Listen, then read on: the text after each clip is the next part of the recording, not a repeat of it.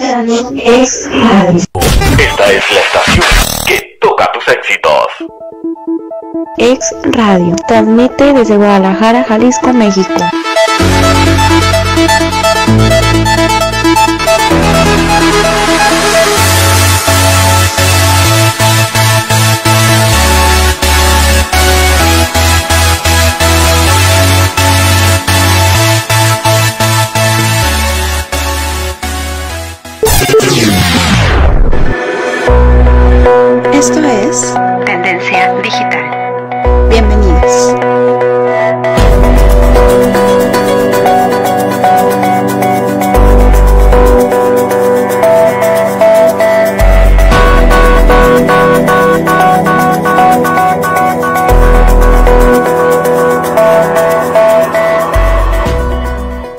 Bienvenidos a Tendencia Digital. Excelente noche. Soy Beth Cervantes y es un gusto para mí compartir con todos ustedes la siguiente hora.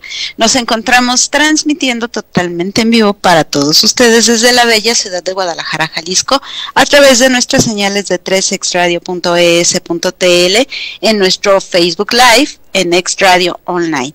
También saludamos con mucho cariño a todos nuestros amigos en Aguascalientes que nos sintonizan a través de Calvillo 101.3 FM, en la Rielera HD Digital en Aguascalientes y Arizona, y también por Radio Variedades 1095 en Arizona. Muchísimas gracias por acompañarnos en Tendencia Digital. Agradezco y saludo a mi queridísimo compañero Mau Mendoza, quien está en los controles técnicos, pues haciendo todo lo posible para que nuestra señal llegue a todo nuestro maravilloso público. Los invito a que se pongan en contacto con nosotros al teléfono en cabina que es el 33 12 67 42 17. También si gustan lo pueden hacer vía WhatsApp al 55 74 21 89 91 y pues a través de nuestro Facebook Live, eh, por medio de lo, todos los mensajes que nos lleguen, bueno, con gusto se los vamos a estar contestando. Eh, el día de hoy quiero también saludar a mi querido amigo y compañero Ángel Conde, con quien tengo el gusto de compartir micrófono. ¿Qué tal, Angelito? ¿Cómo estás? Muy buenas noches. Hola, hola, Beth. Muy buenas noches, muy buenas noches, Mau. Ya listos para otros dos kilos y medio en la cenita de Año Nuevo. Exactamente, y de verdad el día de hoy también tengo el gusto de, de también compartir el micrófono con mi querido Mau Mendoza. ¿Cómo estás, Mau? Hola, ¿qué tal, Beth? Muchísimas gracias por invitarme. Aquí estamos en Tendencia, eh, Tendencia Digital, en este pues resumen anual de todo lo que ocurrió en este 2021, pues atípico diría yo. Así que pues feliz de estar aquí con ustedes. Muchas gracias, qué bueno, qué bueno que estás aquí acompañándonos. Y sí, como dice mi querido Ángel, ya con dos kilos y medio de más. ¿Qué tal te fue en la cena de, de Navidad? Mucho, mucho, mucho, no inventes. Pero, te, pero tenemos estómago para más. Ah, ok, perfecto. ¿Y tú, Mau? Sí, pues bueno, pues como siempre, de, eh, fíjate que siempre en estos años, no sé si a ustedes les pasa, siempre es el día de visitar, pues que a los papás, que eh, visitar a la pareja, a los papás de la pareja, en fin, total que termina cenando como unas tres veces y no sé, y uno no sabe cómo le hace, pero siempre uno es la de siempre, ¿no? Visitar a, a dos, tres puntos, eh, a veces es lo tradicional, ¿no? O concentrarse todos en un solo punto, ¿no? Exactamente. Fíjate que hay una tradición en, en Nuevo León, en, en Monterrey, que uh -huh. es ir a visitar a las, a las familias. Va uno a visitar a las familias, pero en cada casa tienes que comer tres, siete platillos. Chin, imagínate. Y entre, entre, ellos son la capirotada, este, papa lambreada, como le dicen, siete platillos que en cada casa que vas te los sirven, aunque sea de poquito o una papa, un poquito, pero no inventes, o sea, haces visita de tres, este, tres lugares y dices, no inventes, ya, ya pido esquina porque ya, ya es demasiado. Sí, claro, es que sí, uno, bueno, hay que disfrutar, hay que disfrutar estas fechas, la verdad, eh, vale la pena, aunque ya en enero nos vayamos a todos al gym, ¿a poco no? Uh -huh. Ahora sí que empezando con los propósitos de este nuevo 2022, bueno, pues que sea es el hacer el ejercicio y, y por qué no, volvernos a, a poner en forma, pero mientras a seguir disfrutando. Así es, sí, sí, sí, sí, te creo que vamos a empezar al gym, ajá. Pero bueno, hay que echarle ganas. Y si no, bueno, que, que, siga, que sigue estando dentro de nuestros propósitos. Ya están listos precisamente ya con las uvas, ya, ya tenemos el vino listo, la cena, todo. Todo listo. Todo listo. Excel- Bueno, sí, sí, ya todo listo, vamos. Perfecto, pues nosotros, ¿qué les parece si comenzamos precisamente con, con todos estos hechos que acontecieron durante 2021, que, que fueron muchísimos, muchísimas noticias. Obviamente, siempre y- e indudablemente creo que este año eh, predominó el COVID, pero, pero bueno, hay también noticias agradables, ¿o no es así, mi querido Angelito? Así es, un año, un año atípico como, como lo mencionó Mao. El año pasado fue un año completamente diferente porque estábamos apanicados, la, este, el, este, rezando porque todos termináramos bien el año. Este año fue un año de transición, como comentábamos es, precisamente el programa pasado, un año de aprender a vivir con el virus un año de vacunas, un año de um, una esperanza para poder salir. Ese año de que supimos que el virus no iba a sucumbir porque nosotros quisiéramos, sino que nosotros teníamos que aprender a vivir. Empezamos el año con siempre, siempre con los chinos, porque fue el año chino del buey. Así fue este, así, así comenzamos el año. Ajá. Comenzamos el año con el año internacional de la eliminación del trabajo infantil, así como el año internacional de la economía y creatividad. Ajá. Estos fueron lo que así comenzamos el año con esto, con estos, este, con estos temas, con que este era el año. Exactamente. Bueno, eh, si me permiten comentar, yo también eh, les puedo decir, por ejemplo, que cuando iniciamos 2021, eh, al, al iniciar este año, bueno, alrededor del planeta, pues obviamente nos gusta eh, festejarlo con mucha alegría, con mucha felicidad y pues sí ha sido muy diferente debido a la pandemia que, que hemos estado viviendo. Prueba de ello, bueno, pues es, eh, por ejemplo, eh, cuántas plazas o lugares alrededor del mundo desafortunadamente eh, estuvieron solas, ¿no? Y, y, mm, algo que a mí me llamó mucho la atención fue precisamente la caída de confeti que, que cae en este, en este lugar tan emblemático que es el Times Square, que estaba casi vacío, ¿no? Entonces, así como esto, muchas ciudades cancelaron sus espectáculos de fuegos artificiales y fue de verdad el iniciar un 2021 eh, confinados, con temor y pues esperando a que llegara la vacuna. Así es, Betsy, este fue una fue un- una imagen que no nos no nos podíamos imaginar que alguna vez íbamos a ver lo de Times Square, pero como comentábamos ya este todo el transcurso de este año ya fue un poco más este alentador. Claro, todos con, con, con sus bemoles, ¿no? Con los antivacunas que siguen negándose y siguen enfermándose y aún así dicen que no, que no pasa nada. Pero este, te puedo decir que en, en enero, por ejemplo, el- este, se cumplieron los cinco años de la muerte de David Bowie, el 10 de Ujú. enero precisamente. El 22 de enero se cumplieron 25 años de la primera emisión de. Ventaneando en TV Azteca. Ok. 25 años ya de este, de este programa. Y otro acontecimiento también muy este, renombrado es los 95 años de la invención de la televisión.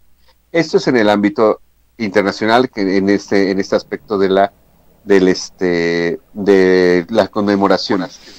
En México, el primero de enero, este, Mau lo puede recordar muy bien, en Puerto Vallarta se registró un hundimiento de un barco donde con 60 personas a bordo, una situación un poquito complicada Y este y no, este y la transición del cambio de poder de Estados Unidos, este ahora sí que cayendo uno de los de los este de los presidentes más pintorescos que ha tenido Estados Unidos, que es Donald Trump, Exacto. y este y llegando ya este Biden a la a la presidencia. A la presidencia también. Oye, quisiera recalcar cuando Facebook y Twitter le bloquean temporalmente las cuentas a Donald Trump en Claro. la plataforma después de, de que sus partidarios, bueno, irrumpieron en el edificio del Capitolio para protestar por los resultados de las elecciones. No sé si eso lo recuerdan también.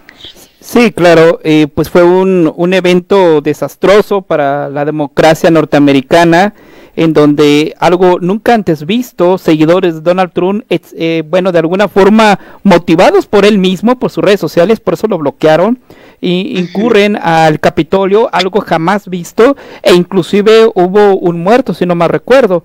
Entonces, pues bueno, eh, Donald Trump, un personaje pues eh, controversial, eh, pues recordarán compañeros que con las uñas en la en la casa oval, en este en este recinto, pues no quería dejar la presidencia. De hecho, hasta la fecha dice que fue que le robaron las votaciones, inclusive. Y, y John Biden, pues bueno, este, de alguna forma un personaje pues soso en, la campaña política, hay que llamarlo así, algo soso, este, pero quedó ahí en la, en la historia, quedó así.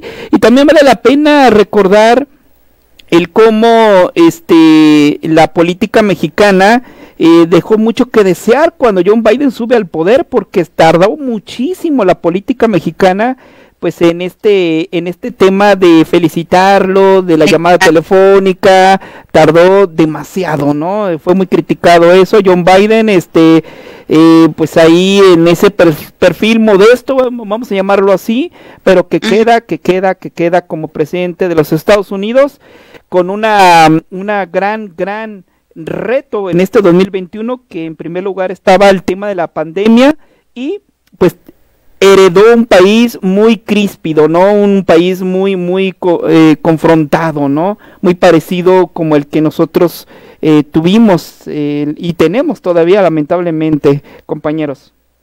Exactamente. Así es, este es una, es, empieza a ver esta, esta relación no tan, este, tan fluida como siempre había estado, había sido con Estados Unidos, puesto que es nuestro principal socio, empieza a ver este, esto de esta rispidez, esto tan, tan rugoso ya con el gobierno estadounidense. Claro, o sea, el gobierno estadounidense completamente, no, no completamente, sino no tan a favor de esta situación tan populista que se está manejando en México, ni tampoco con la política extranjera, extranjera que tenemos.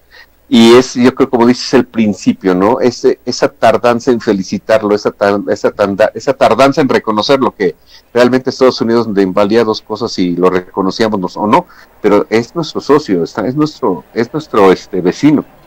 Será muy importante tener esa relación bien con Estados Unidos. Después viene pues el tema de, hay que llamarlo así, por parte del secretario de eh, Relaciones Exteriores, Marcelo Ebrard, en donde pues de alguna forma empieza este pues esta convergencia entre las dos naciones, hubo por ahí una llamada otra llamada por teléfono.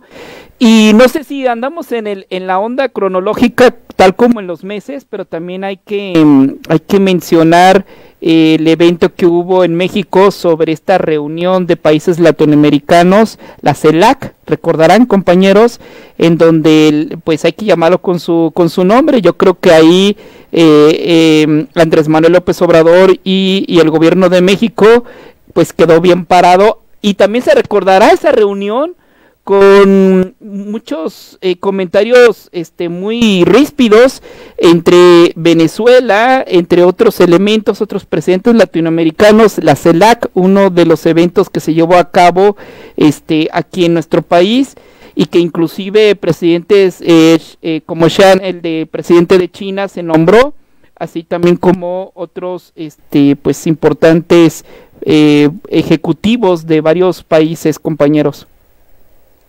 La CELAC fue el 30 de agosto del 21. Está un poquito, estamos un poquito más hacia acá, pero sí tiene razón, o sea, fue un este un, un, un éxito, digámoslo así, para, eh, para el este para el, la, la, para el, gobierno. el gobierno y este y sí quedamos muy bien parados aunque también este hubo también sus ciertos sus sus momentos, ¿no? Este, sí, incómodos, incómodos con el presidente. De parecía como telenovela, o sea, yo estaba feliz de viéndolo. Exactamente, así muy telenovelesco, como dices. Pero este, no hay que olvidar en febrero, por favor, el Super Bowl por primera vez un, un este, un equipo, un equipo local gana el Super Bowl en su casa, que es Tampa Bay. Este, todo esto a comandados por Tom Brady, donde se demuestra, o donde él va, él da más, va, él da bases para este, considerarlo como uno de los mejores o el mejor quarterback de todos los tiempos en la NFL. Y la NFL que venía pues con un golpe duro con la pandemia, como todo, de ese 20, este 2020 golpeado la NFL, ¿no? Entonces era como una, eh, una toma de oxígeno para los amantes del NFL, Ángel. Así es, mira, la, la gran ventaja de la NFL es que es un deporte que está hecho para el público y para las televisoras. Es un deporte que está, este, su estructura es exactamente para que lo veas por televisión. Gana muchísimo dinero con las transmisiones.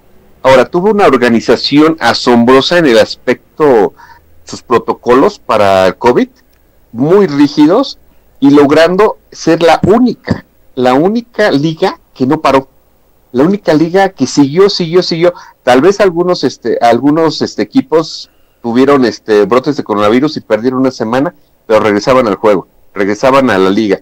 Entonces, no paró. Ha sido organizado la NFL y como dices, viene de un golpe que logró, logró como muchos de los deportes este, a nivel internacional, pero yo creo que fue el menos golpeado que todos los demás. La NBA también tuvo una, una situación muy, este, una organización muy buena al, al encerrarse en Orlando y hacer ahí sus, este, terminar ahí su temporada. Pero la NFL fue una, fue una, este, es un caso muy especial de cómo organizándose lo pueden, lo pueden, este, lo pueden hacer. Y se necesita y se necesitaba porque todo lo que genera la NFL es eh, pues asombroso, ¿no? Económicamente. Así Sí. es. En febrero también no hay que olvidar el 30 aniversario del disco del LP álbum Innuendo de Queen, todavía con Freddie Mercury. Ok. Este, y el 27 de febrero es 25 años de la franquicia Pokémon. 25 años de la franquicia Pokémon. Así es, desde Oh. 25 años con Pikachu en nuestras vidas. Ay, caray, no, bueno, para todos los ah, ahora sí que amantes de, de los animes y bueno, porque entra dentro del género anime, ¿no? Que todavía está sacando sagas, ¿eh? Todavía hay capítulos de estreno hoy en nuestros días. Inclusive hace poco se estrenó una película, una ova nueva de Pokémon. O sea, Pokémon hay para, para rato, ¿eh? Sí, claro, desde luego. Desde luego, por eso eh, no sé no sé si estoy bien o estoy mal. En este año fue cuando salió la película nueva de Pokémon. No fue el año pasado, pero. no, Fue el año este pasado. no hubo- ajá, este año no hubo película. No hubo película, Sí, la pero película. sí hubo un nuevo arco, uno, una nueva saga. Ajá. Ok. Y hay que recordar que Pikachu fue el este la, la mascota oficial del, de las Olimpiadas. Oh, ok. Mira, o sea, tantos datos interesantes que, que uno va aprendiendo. Una- Oye, aunque ya esté terminando el año. unas olimpiadas también este opacas por el COVID, ¿no? Eh, unas eh, olimpiadas di- distintas en donde donde muchos de los de, de las justas deportivas se hicieron a puerta cerrada. Exactamente. Sí, pues sí, ahora sí sin, sin público, pero, pero bueno, yo creo que también eh, a pesar de, de, de que fueron muy, digamos, a puerta cerrada, pues los japoneses dieron mucho, mucho, mucho, eh, eh, digamos, espectáculo al momento de iniciar y al momento de terminar las Olimpiadas. Eh, estoy hablando de las Olimpiadas eh, que se efectuaron que fue en julio, ¿no? Más o menos julio-agosto. Sí, este, realmente, o sea, su todo el mundo nos esperábamos y me incluyo porque obviamente, bueno, pensamos que iban a sacar precisamente todos sus personajes de todas estas eh, series animadas, ¿no? Que ellos tienen, en donde creo que fue en, en las últimas Olimpiadas, fueron las de Londres, si no mal recuerdo, este, cuando hicieron el cambio, precisamente la transición hacia Japón, donde nos presentaron a Mario Bros, donde nos presentaron a este Massinger, no es no es Massinger Z, es eh, Dragon Ball, etcétera, etcétera. Todos pensamos que iba a ser algo así y a final de cuentas, bueno, pues fue un poco más eh, sobrio, pero no dejó de tener también su encanto a final de cuentas de del Oriente, ¿no? Y hay que mencionar que la noticia que hace hace reciente salió que Francia em, que serán los siguientes Juegos Olímpicos, ya dio un comunicado donde la apertura, el evento de apertura de las Olimpiadas será a puerta abierta, será dentro de las calles principales de enfrente de la Torre Eiffel, entonces pues es, es grato el contraste que está mostrando Francia o que ya publicó Francia a diferencia del el país nipón. Y los nipones, pues, este, no, no es, no es lo que tenían pensado ellos, pero pues eh, así fue como se, desarrollaron. Eh, la anécdota, ¿no? Muchos eran 2020 y, y era do- 2021, ¿no? Esta, para la anécdota de las Olimpiadas, Ángel. Así es, fueron una- unas Olimpiadas que se retrasaron un año, precisamente por el por la situación de la pandemia, pero también una Olimpiada con muchas, pero muchísimas sorpresas. Yo creo que la sorpresa, la primera grande fue la fue el hecho de que se retirara esta Simón Simón Biles. Ajá, Sí, sí. Biles. ¿Por qué? Porque se sentía muy presionada. Unas Olimpiadas, como decíamos, con muy poco encanto, porque el este los realmente el, el público hace mucho para con las Olimpiadas.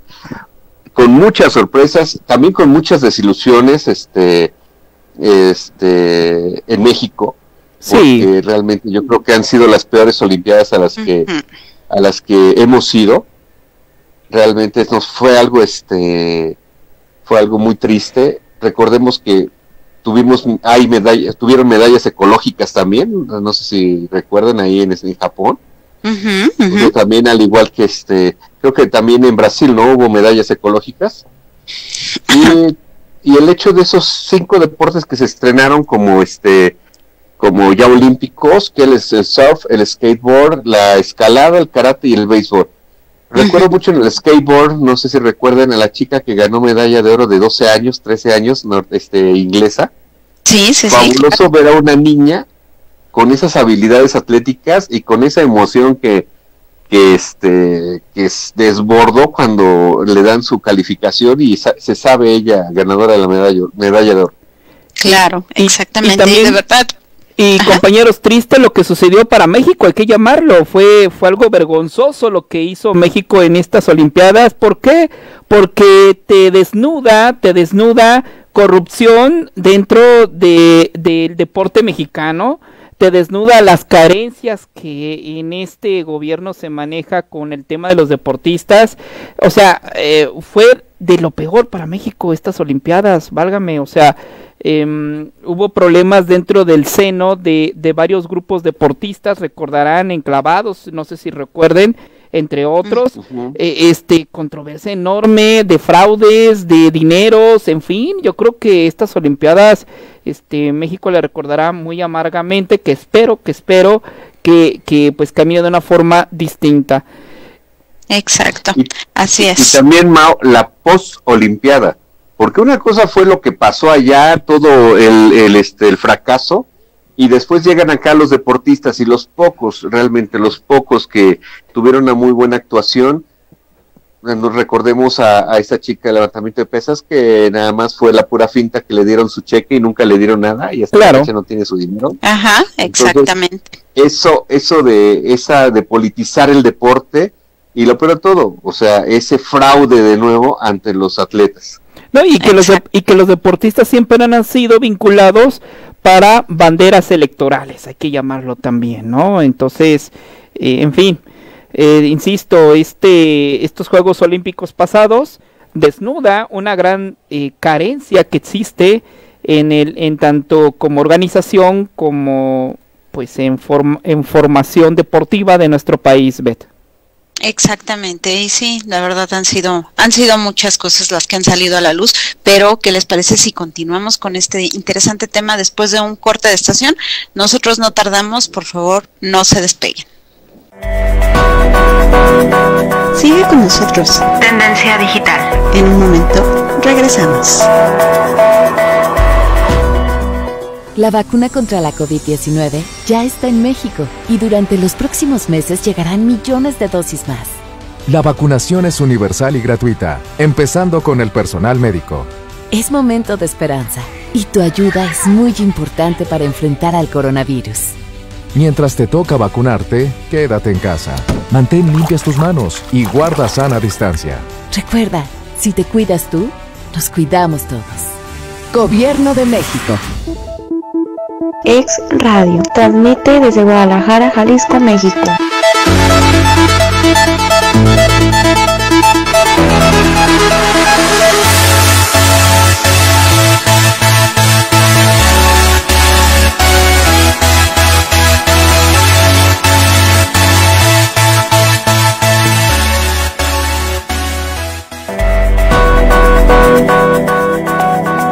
Regresamos a Tendencia Digital.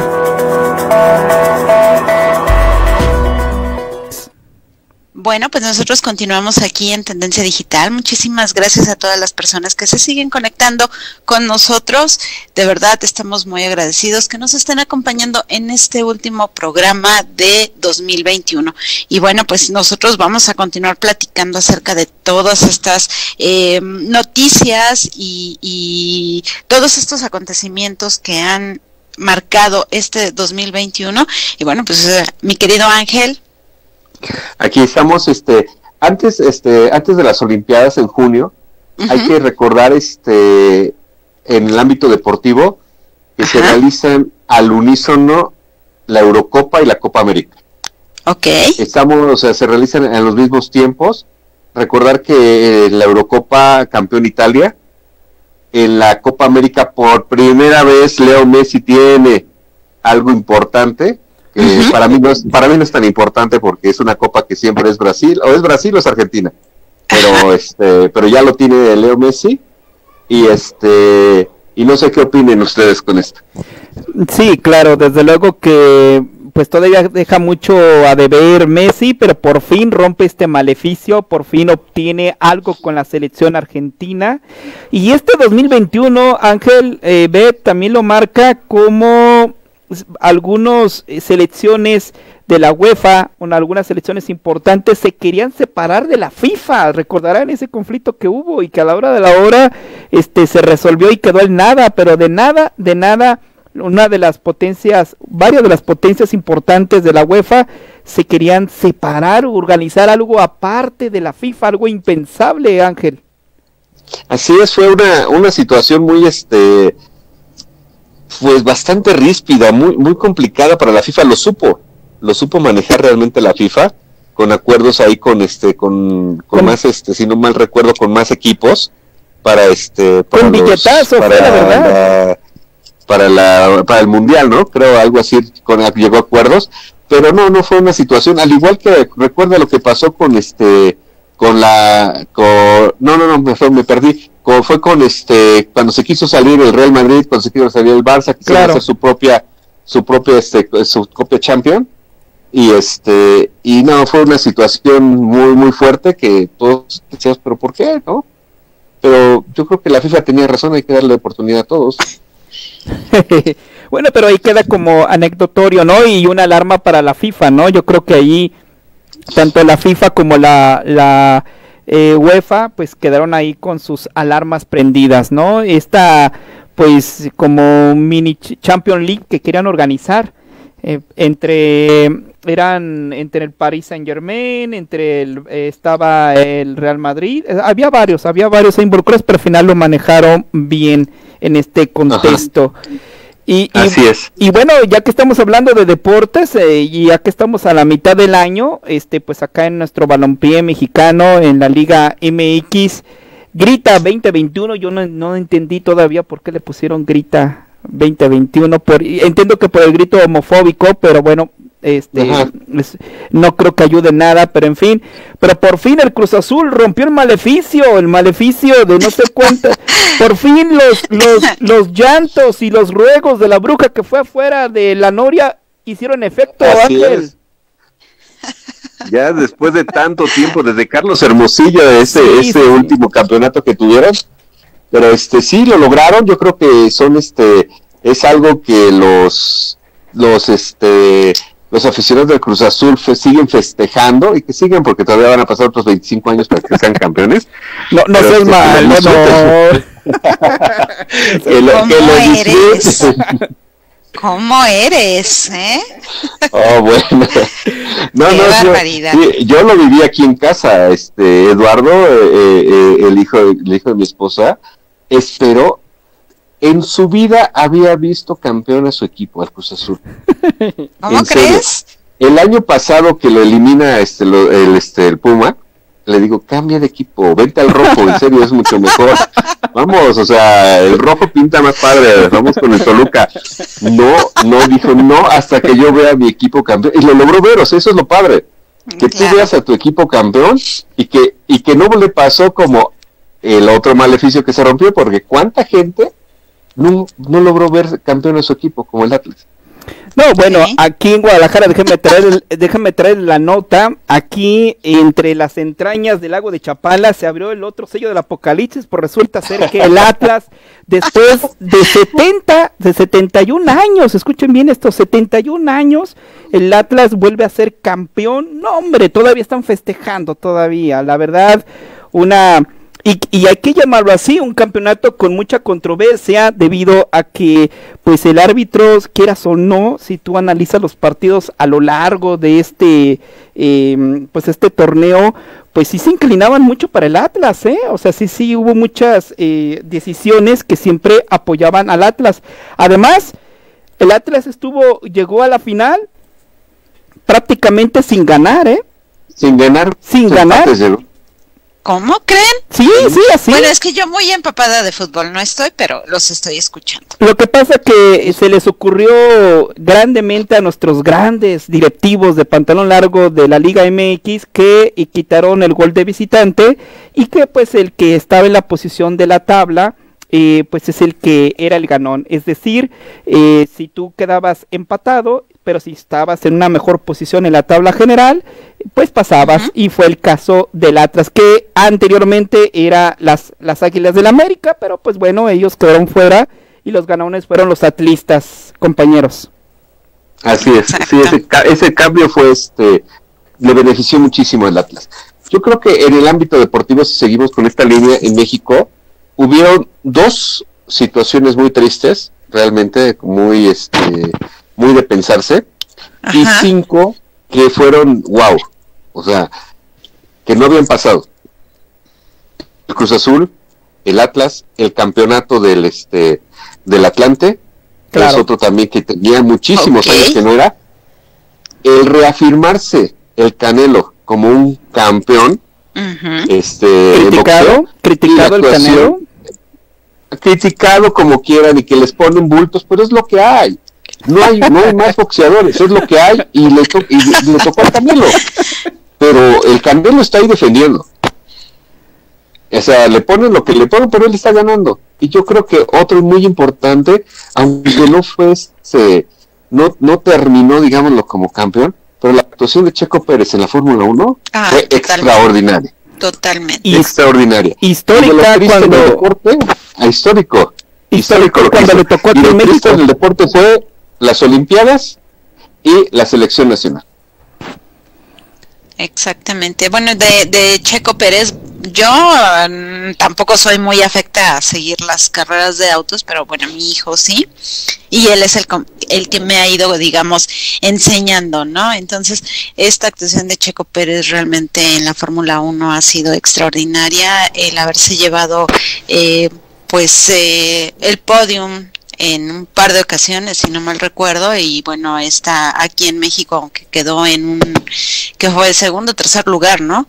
Este, realmente, eh, pues sí, nos, nos llena de orgullo y principalmente, ¿no? El que se haya subido a este podio aquí en México, en su país, ¿no? que ningún otro este piloto pues lo había logrado de no ser los hermanos Rodríguez en su momento pero pero bueno creo que sí sí fue maravilloso No, indiscutiblemente el checo por encima de los hermanos Rodríguez, Rodríguez, discúlpenme, pero pues nadie se había coronado aquí en México, él ya lo hizo y, Él está, ya lo hizo. y está haciendo su chambita modestamente ahí subiendo con los grandes, entonces pues bueno, yo creo que y además con lo que tiene Ángel, con lo que tenía, o sea, tampoco no es así como que wow, o sea, no, no es una eh, carrocería así tremenda. Entonces, yo creo que es muy loable lo que ha hecho historia el Checo Pérez, también el Canelo. Y también el Atlante, que así rapidísimo, histórico también lo que hace el Atlante por el lugar donde lo hace, le, le rompe el maleficio donde antes se encontraba el Cruz Azul, Ángel. Exactamente. Ahí en el este en el Estadio Azul, ahí es donde rompe todo. Oye, también este solo para este, un punto más sobre Checo Pérez.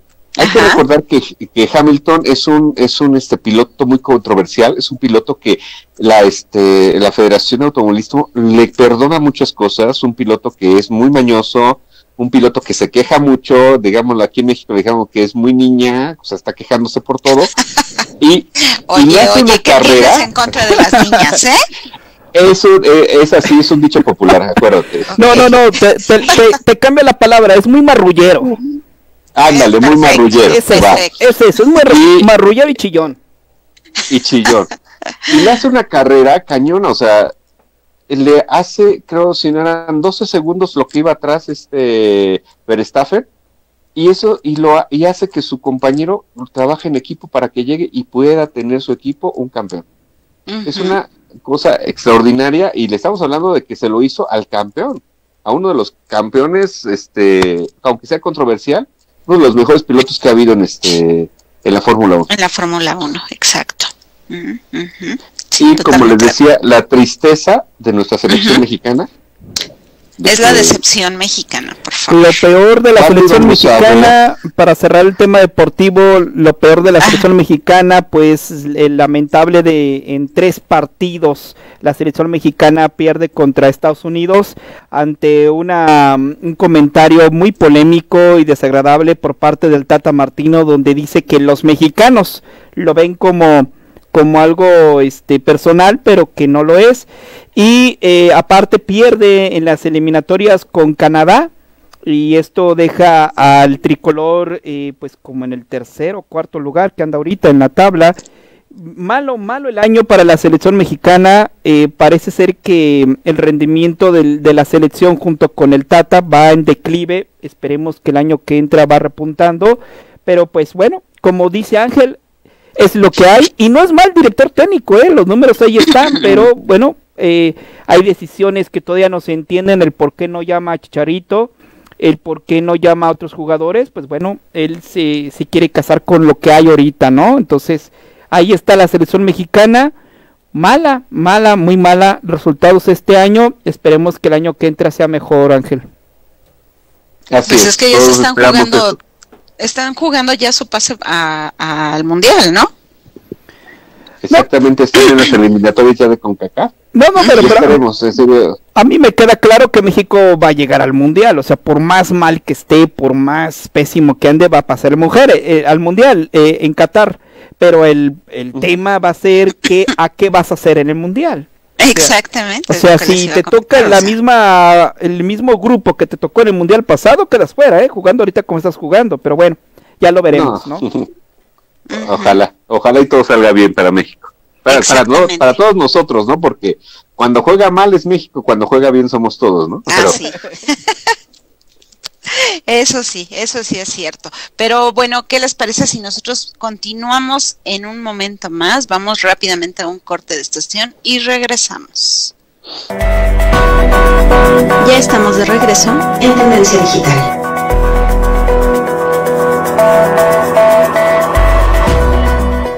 El machismo, la misoginia y los estereotipos sexistas provocan que miles de niñas y mujeres sean víctimas de violencias.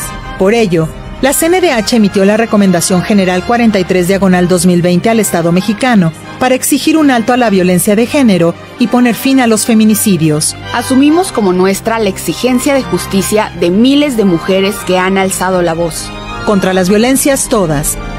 Comisión Nacional de los Derechos Humanos, defendemos al pueblo. Ex Radio. Es tu estación. Ex Radio. Sigue con nosotros. Tendencia Digital. En un momento regresamos. Pues nosotros regresamos aquí a Tendencia Digital. Muchísimas gracias a todas las personas que se siguen conectando con nosotros ya en este último programa de 2021 que realmente nosotros nos hemos divertido y lo hemos disfrutado infinitamente. Y bueno, pues continuamos con estas noticias. Yo a mí me gustaría platicar acerca de, de este accidente que sucedió en el metro de la Ciudad de México, eh, desafortunadamente el 3 de mayo de este año. Y bueno, este suceso, bueno, ocurrió entre las estaciones de Olivos y Tezonco de la línea 12 del metro de la Ciudad de México. Y como sabemos, bueno, había muchísimas fallas, tanto en la construcción, en las vías, eh, eh, hubo mucha negligencia al momento de la construcción y todo fue precisamente porque, bueno, no, a mí no, no me gusta hablar mucho de política, ni de políticos, ni de nada de eso, pero esto sí hay que recalcarlo, eh, cuando Marcelo Ebrard era el jefe de gobierno de aquí de la Ciudad de México, eh, él quiso entregar esa línea apresuradamente y bueno, desafortunadamente varios años después sucede este accidente. ¿No es así, mis queridos compañeros? Sí, pues bueno, Así es. Ah, bueno, eh, lamentablemente deja 26 muertos este accidente que le dio la vuelta al mundo, esta noticia, y donde está involucrado, hay que llamarlo así, tres administraciones, que es este Mancera, Ebrard y Claudio Sherman, que actualmente ahí está. Pero hubo varias cosas eh, eh, interesantes en este suceso, si quiero puntualizar. Número uno, hay que recordar que pocos días después del accidente, pues venía las elecciones también, hay que llamarlo así, y que eh, Morena queda, gana este, eh, las votaciones de este lugar, siendo que lamentablemente la caída de la aceptación de la gente eh, estaba por los suelos. Y yo comento esto porque hay un reportaje, y quiero comentar aquí con todos ustedes, de nada más ni menos de una compañera periodista muy, muy, muy, muy interesante que ella hace, donde ella comenta, donde ella comenta, este, Anabel Hernández, no sé si la ubiquen, o eh, Anabel Hernández comenta en los medios de comunicación que cerca donde se desarrolló el accidente de la línea del metro, se estaba manejando una compra de votos y que eh, fue una de las circunstancias por las cuales eh, Morena llega al poder y que esta compra de votos estaba siendo realizada por el crimen organizado. Entonces, palabras muy duras y muy fuertes de Anabel Hernández y pues bueno, este de alguna de alguna manera hay mucho más que platicar sobre esta línea de, del metro, este accidente que ocurrió, que todavía a nuestros días todavía no queda muy claro, ¿no? Digo, ah, hay varias cositas que, que ahí están, que ya se comentaron, pero pues todavía no hay culpables, ¿no? O sea, ese es el tema, compañeros.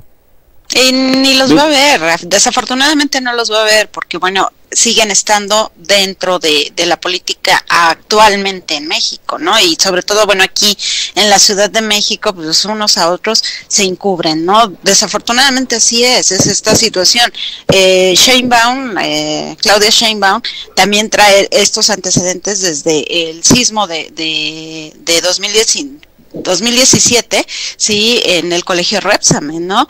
Yo les puedo platicar, en ese tiempo yo vivía muy cerca de, ese lugar y bueno, pues varias veces cuando ella empezó a postularse hacia la gobernatura de la Ciudad de México, digamos, varias veces quiso hacer sus eventos ahí en, pues se puede decir todo Cuapatlalpan y demás, nadie, nadie la quería realmente porque nunca esclareció correctamente estos hechos, ¿no? Y bueno, ahorita con, con este accidente de la línea 12 de, del metro, pues tampoco ha hecho mucho y, y pues sí, como dice Mau, no hay culpables, ¿o no es así, mi querido Angelito?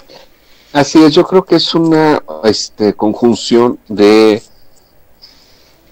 corrupción, negligencia impunidad y al final impunidad. No este no va a haber culpables, puesto que todos los que están ahí relacionados o van a sacar algún chico chivo expiatorio este de muy bajo perfil para que sea él el culpable, que compró mal las cosas o que planeó mal las cosas.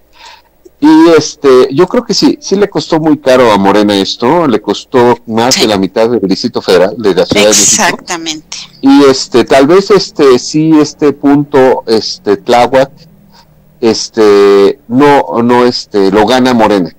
Sí lo gana Morena, pero todo lo que perdió, realmente, si veíamos el, el mapa electoral antes de, antes de esto, pues Morena, solo había una o dos este, delegaciones a favor de otros, este, de otros partidos, pero ahorita es más de la mitad la que ya está, este, ya está con Morena, y siguen y siguen cometiendo errores y siguen encubriendo, y no, o sea, yo creo que sí, sí, el, este, el pueblo mexicano no tiene memoria, pero sí ya cuando le colman el plato, como pasó ahorita con el PRI, aunque fue un voto por este, por este, por no, por rechazo o por odio hacia el, hacia los otros partidos, este, y caímos mal con esto, pero sí, este, sí, no creo que sea, que se levante tan fácil Morena de lo que pasó ahorita en la Ciudad de México.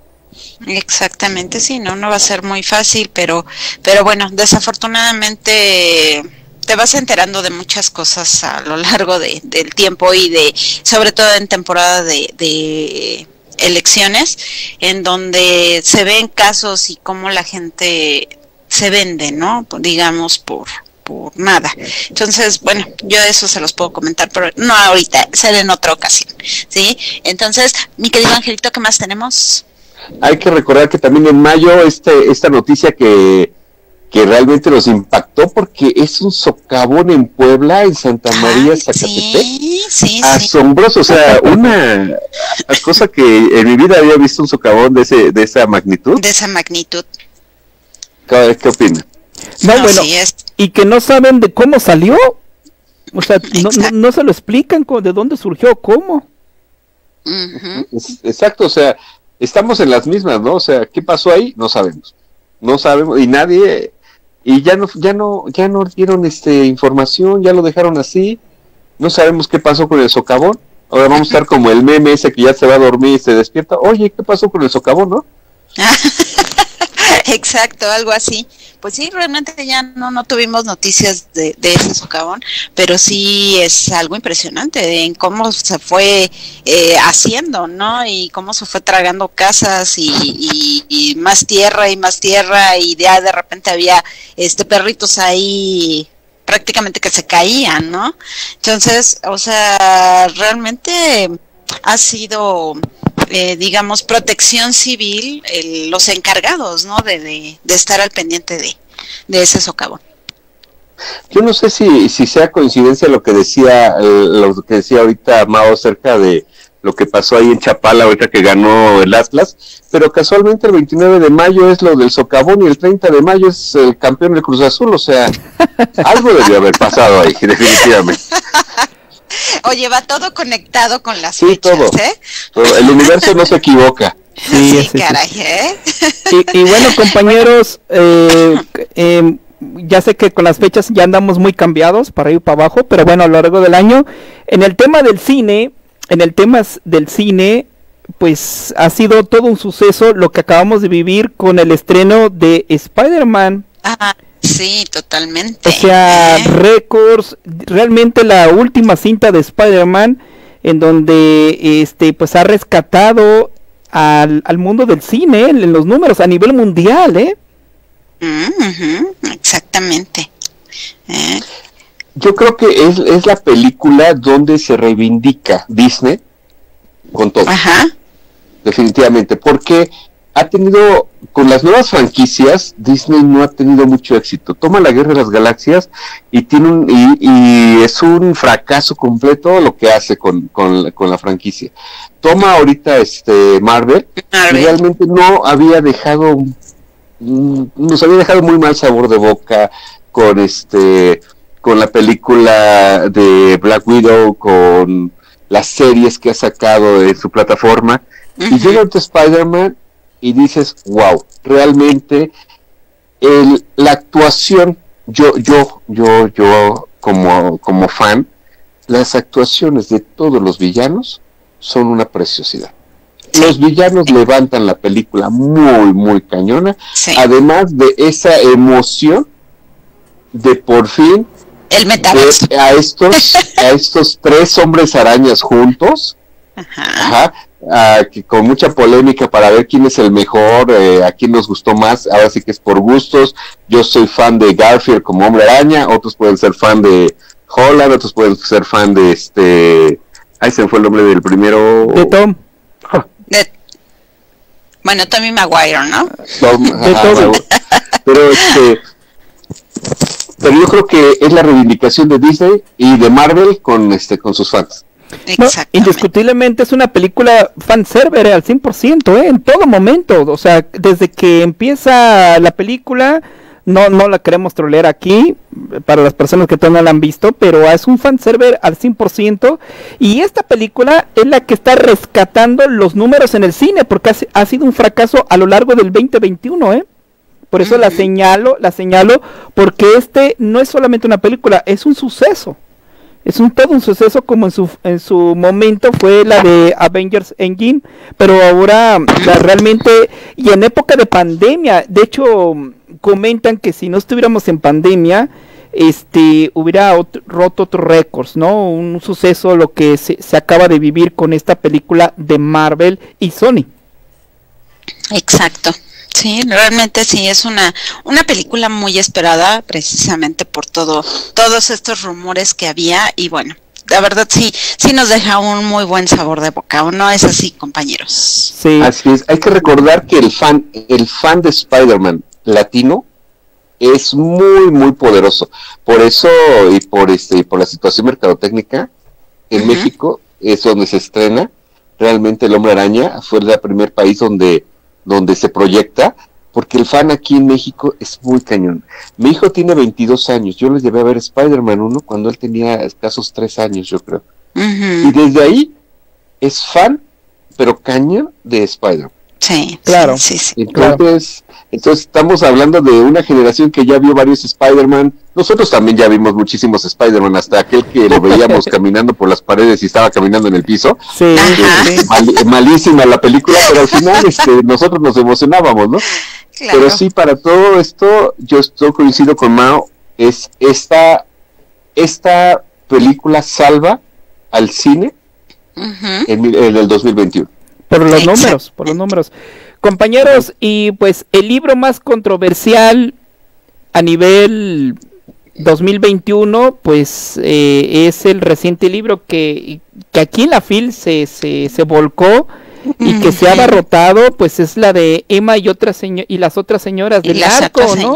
De Anabel Hernández, donde habla sobre una diversidad de, de cómo la mujer es parte fundamental del fenómeno del narco, narcotraficante.